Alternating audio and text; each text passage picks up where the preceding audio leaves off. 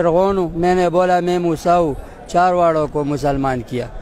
कैसा लग रहा है आप? सही आप तो पूरे विलन लग रहे हैं पूरे विलन। हीरो विलन नहीं। हाँ। नहीं ये कलम है इसका इस्तेमाल करते हैं। हाँ करता हूँ। किस तरह क्या लिखते हैं इसमें इस पे ये लिखता हूँ ए एस ए, इसका क्या मतलब होता वह मेरा दोस्त है। है। अच्छा मेरे साथ इधर एक कैदी मौजूद है। आपका नाम क्या है? अब्दुल वाहिद। कहाँ के हैं? पिशावर बाड़ा। किस जुर्म में आए हैं? तीन सौ दो ने कत्ल किया है? हाँ कत्ल किया है। कितने कत्ल किए? चार।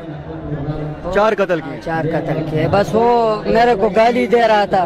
मैं गया पानी के लिए वो बोला कि तुमने चोरी किया ये किया वो किया। मेरे को आधा घंटा गाली दिया बस आखिर में मेरे को भी गुस्सा आया। मेरे को बंदूक दिखाता था अपना। बस मैंने बोला मेरे को मारो वो नहीं मारा मैंने मार दिया।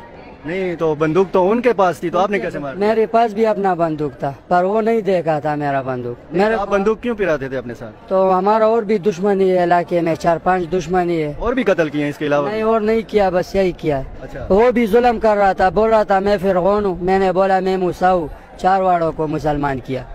नहीं तो अभी जब आपने ये कत्ल किए हैं चार तो ये आपने मतलब एक मतलब चार इंसानों को मारा है ना? हाँ। उनके बीवी बच्चे माँ बाप मैं बहुत खफा हूँ, पर अभी क्या करूँ? बस टाइम ऐसा आया वो मेरे मेरे को भी मारता था।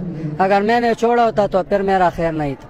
अभी तो आपने अपनी जान बचाने के लिए हाँ। चार दूसरे इंसानों की जान ले ली। हाँ बस क्या करे? अभी बहुत खफा हूँ बस टाइम नहीं खफा तो आप हैं तो आपकी खफकी से अब ये चार लोग वापस आ जाएँगे। नहीं आएगा दोबारा तो नहीं आएगा। उनके बीवी बच्चे होंगे हाँ, उसके बच्चे यतीम कर दिया आपने। मेरे भी छोटे बच्चे थे अगर मेरे को तो मारता जब तो मार दिया तो वो छोटे आपके जो बच्चे हैं वो अब किस हाल में हैं? बस मैं बहुत खफा हूँ उसको मैं बड़ा भी करेगा। उनका बाप ज़िंदा है लेकिन वो है यतीम। हाँ यतीम है बस। एक बाप मरा है लेकिन एक और चाचा है वो ज़िंदा है। नहीं नहीं मैं आपकी बात कर रहा हूँ। आप तो ज़िंदा है ना? हाँ, मैं ज़िंदा लेकिन आपके बच्चे यतीमी की ज़िंदगी गुजारे हैं क्योंकि आप जेल में हाँ। सही बात है। मैं जेल में हूँ बस वो खफा है बहुत मेरे पीछे। क्या करे बस? आप तो नशा करते थे? नहीं नशा नहीं मतलब पूरे होशो हवास में आपने चार बंदे कड़का दिए। होश आवाज़ में। आधा घंटा गाली सुना बस वो नहीं मानता था।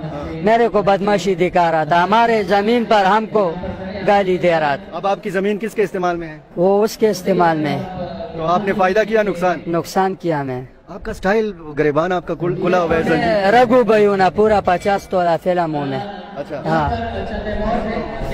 नहीं आप नशा नहीं करते थे। अ, पढ़े हैं आप? हाँ, मतलब बहुत। कितना कितना पढ़े? दसवीं तक दसवीं क्लास मैट्रिक किया आपने? हाँ, हाँ। तो का, काम क्या करते थे? और ड्राइविंग कर रहा था। गाड़ी चला रहा था। कितना कमाते थे रोज़ाना? बस तीन चार हज़ार कमाते थे।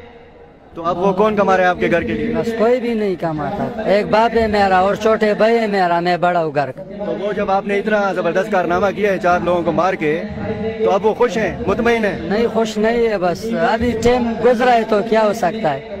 अच्छा तो आपको सजा हुई है अदालत से? नहीं अभी सजा नहीं हुई। अभी मैं कितने अरसे से जेल में? मैं दो तीन महीने से जेल में हूँ। मैं खुद भी लगा हुआ इधर दो गोली लगा।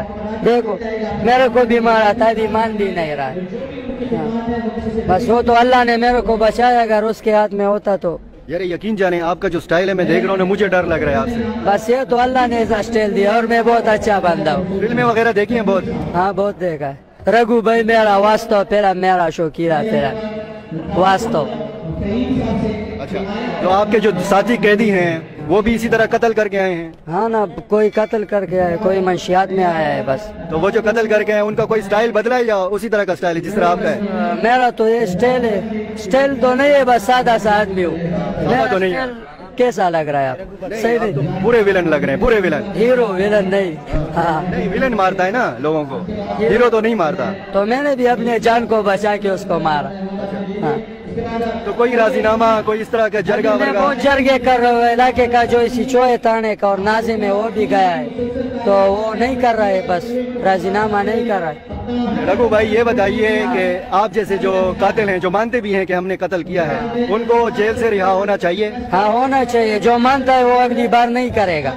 चोरी चुपके तो नहीं किया पूरा गाँव सामने खड़ा था। वो आधा घंटा मेरे को गाड़ी मेरा बेजती कर रहा था। नहीं तो गाली का ये मतलब वो है कि आप किसी को कत्ल कर दें गाली तो वो गाली छोड़ रहा था बंदूक है वो बोल रहा था कि उसको पकड़ के गाड़ी के पीछे बांधो कपड़े निकालो मेरा। तो कपड़े निकालता फिर मैं क्या करता? फिर तो इज़्ज़त वापस नहीं आता। नहीं तो आपका स्टाइल तो जेल के अंदर भी नहीं बदला इसकी क्या वजह है? बस ये तो अल्लाह ने ऐसा पैदा किया मेरा स्टाइल तो बस सीधा साधा है।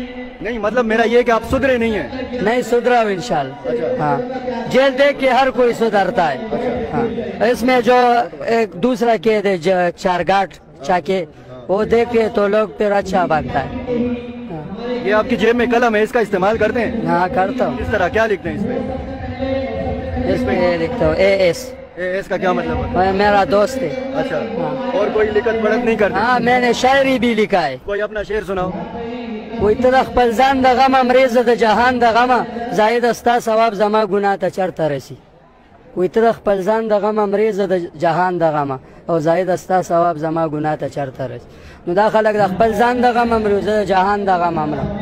तो ये तो आपको गाना शाना भी आता होगा नहीं गाना नहीं यार मतलब इतना आप अ, करके आए हैं चार कत्ल करके आए हैं आप शायरी भी कर लेते हैं और अ, आपका स्टाइल भी नहीं बदला रिहा होंगे अगर खुदा ना खास्ता अगर आप रिहा होंगे तो बाहर जाके क्या करेंगे? तो बाहर जाके उसके साथ राजीनामा करेगा। राजीनामा नहीं किया तो दो तीन वो भी उड़ाएँगे।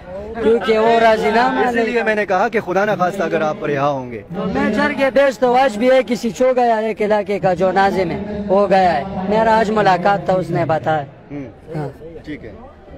चलें ये रघु भाई से आपकी मुलाकात हुई। इसके साथ